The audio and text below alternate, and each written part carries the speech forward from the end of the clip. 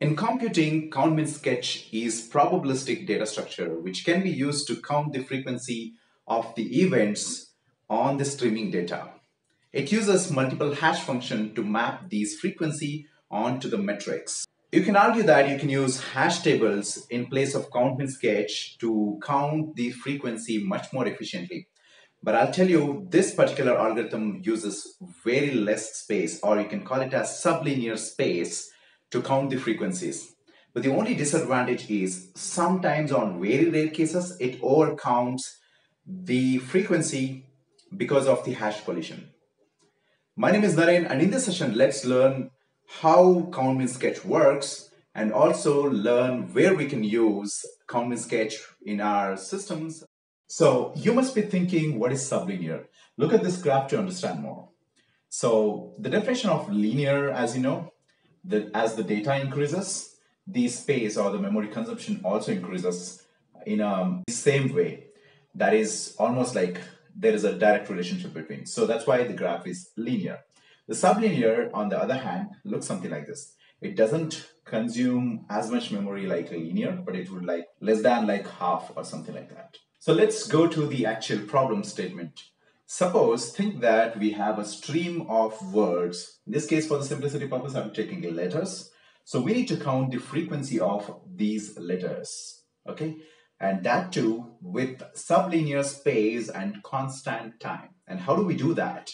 Along with that, we also need to provide range queries, total count, and also sometimes percentile. So how do we do that?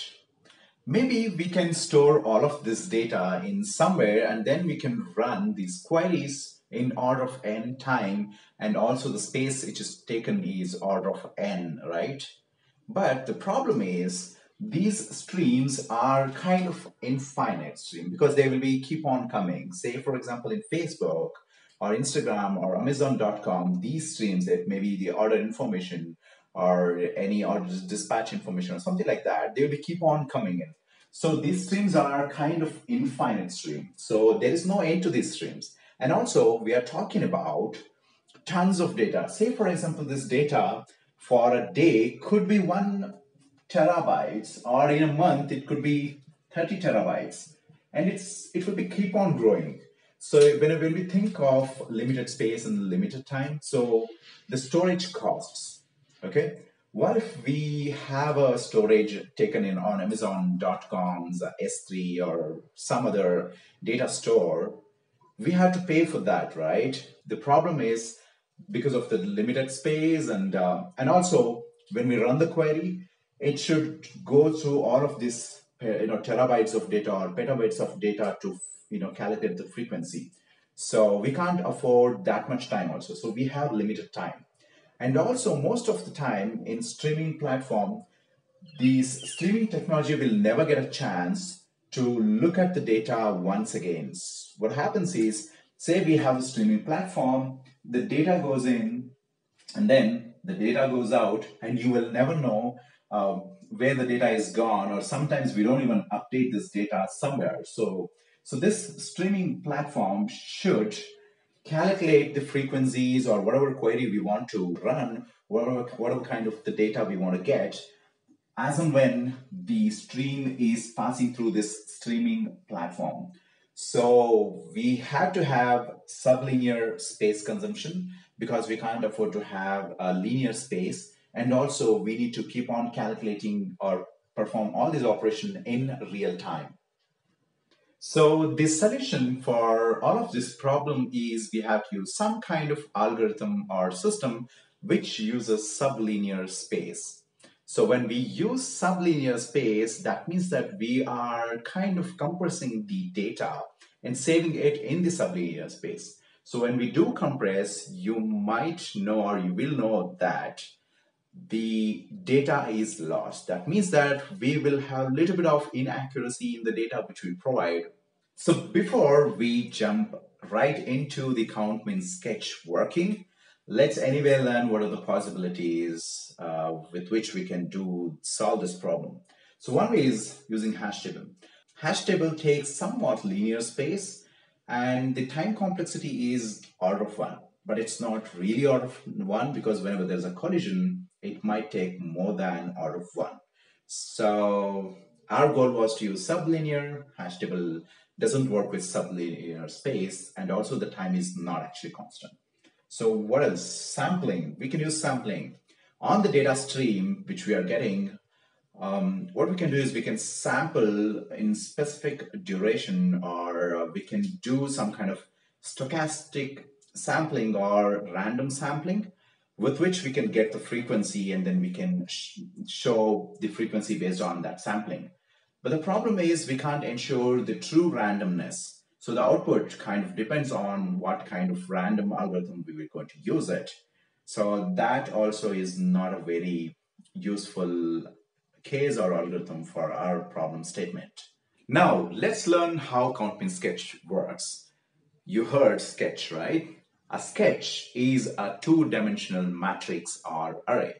Okay, that looks something like this. This is a two-dimensional matrix representation which has four rows and about six columns in it. So the number of rows is equal to the number of hash functions we are going to use for this CountMin sketch. The number of hash, hash function you want to use depends on yourself. The more accurate results you want, the more number of hash functions you're going to choose. So for this example, for simplicity purpose, I'm going to take only four different hash function that is h1, h2, h3, and h4, okay? So, if you see here, there are four different hash function that is equal to the number of rows which we have in this sketch. And the columns we have is about seven different columns.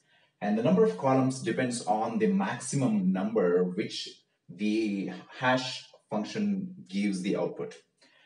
So that means that we have the sketch, a predefined size of the sketch. And that is the reason why it is called as sublinear because this um, data structure or the sketch size or space, uh, this data structure's size will never change based on the different kinds of input we are getting in this stream. So this is a stream with different letters for the simplicity purpose this could be numbers or this could be words or anything, okay? For simplicity, I've, I've taken only the, word, the letters. So now we have chosen different kind of hash functions. We have the sketch, okay? Now what we need to do to count the frequency of these letters in the stream, we have to, so consider we are, uh, our stream processor is listening to the stream. So this will encounter the very first word, A. Now what we need to do? We have to pass this A to all these different four hash function and get those values. So I have a table written here for, to, for the easy explanation purpose. Okay, so what happens, say for example, we got A, what we had to do is we had to pass A to this hash function A. What do we get? So we might get anything for for the example purpose, I have my own table which gives output for to explain all the different scenarios. Okay, say we get one. So when we pass A to H2, what do we get? We get six. When we pass to H3, we get three, and when we pass to H4, we get one. So now, what do we need to do? We have to update the sketch with those hash values. Say, how do we update? So first, we should have this sketch filled with zeros. Okay, let's do that.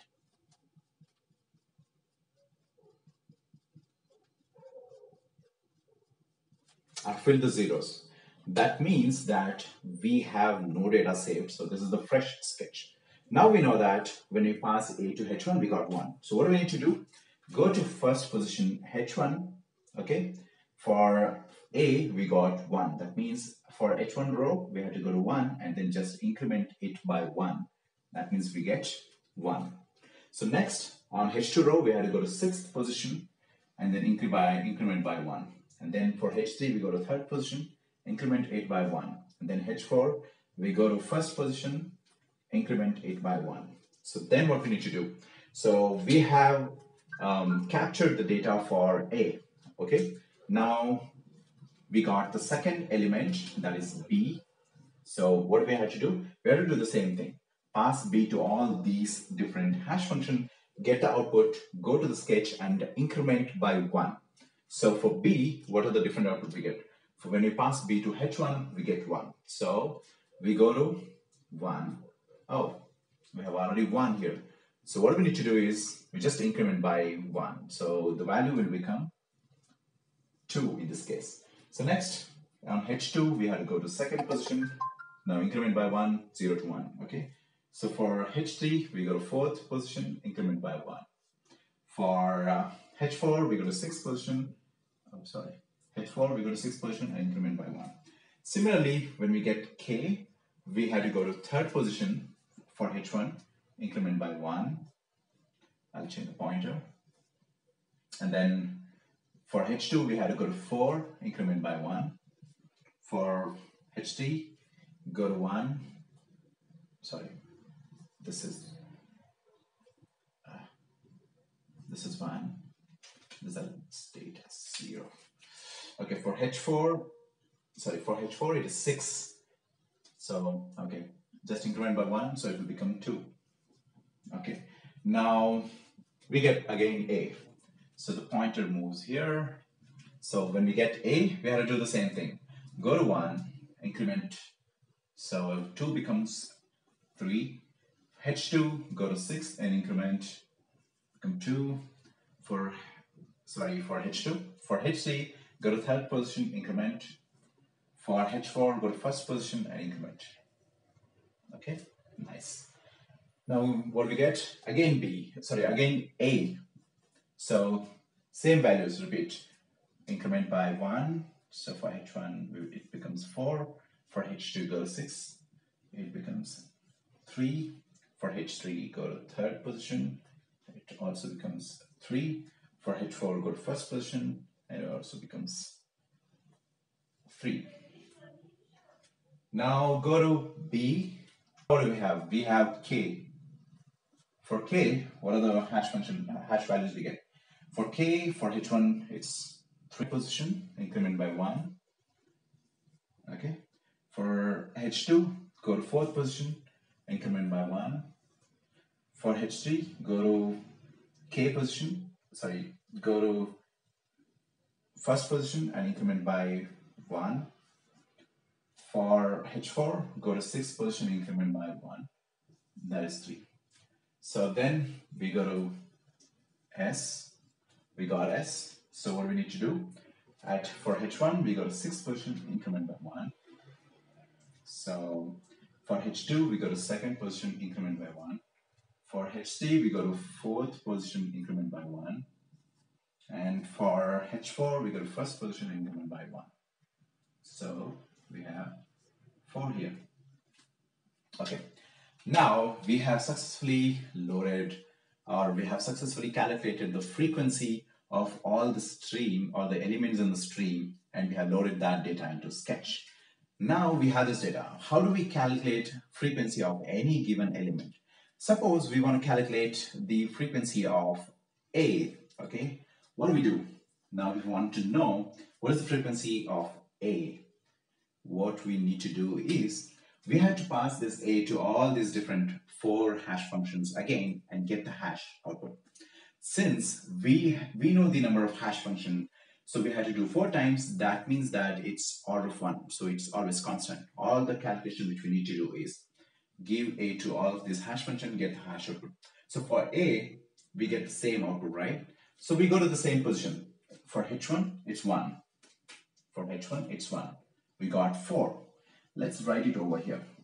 Okay. We got 4. For H2, we got 6, right? So let's go to 6. We got 3. For H3, okay, we got 3. Go to third position, get the value. For H4, we got 1. Go to this. Okay. So what output we got is 4, 3, 3, 4.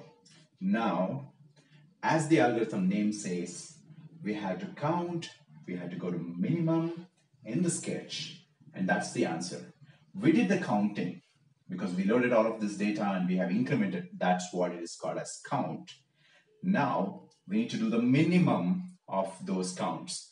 Now we have got the data for A, now we have to get the minimum of it. What is the minimum number in this output? It's 3. Okay. That means the frequency of A is 3. Let's count. A is here 1, 2 and 3. All good? We got 3. Let's run the same case for say K. Okay, let's do it for K. When we do calculate hash for K, what do we get? Oh, the values are here. For H1 we get 3. So for H1 we get 3. That is 2. For H2 we get 4. Go to fourth position. That is 2. For H3 we get 1. 2. Okay. For H4 we get 6. Go to sixth position. That is 3. So in this case, again, what is the minimum value? That is 2. Sorry. So that is 2. Let's count it here. So how many Ks are here? That is 2. So we got 2. So it's actually working. That is what we did. We did the count. Now we're getting the counts and we are calculating minimum from the sketch that is count min sketch. We got the output 2. This always work. When it will fail, why do we call it as probabilistic data structure?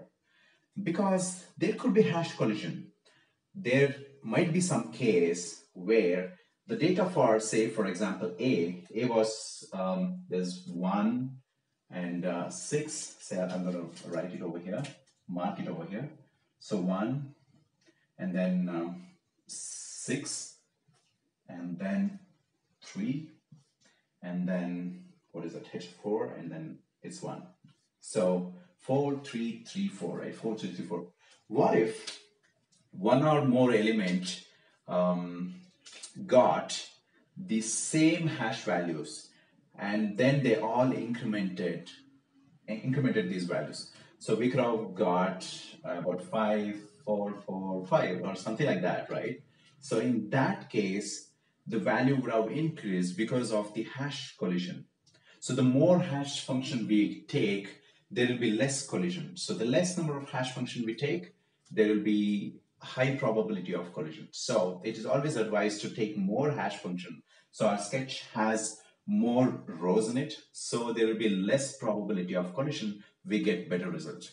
Count min sketch always counts um, the exact number or more. It will never undercount. It will always do kind of overcounting.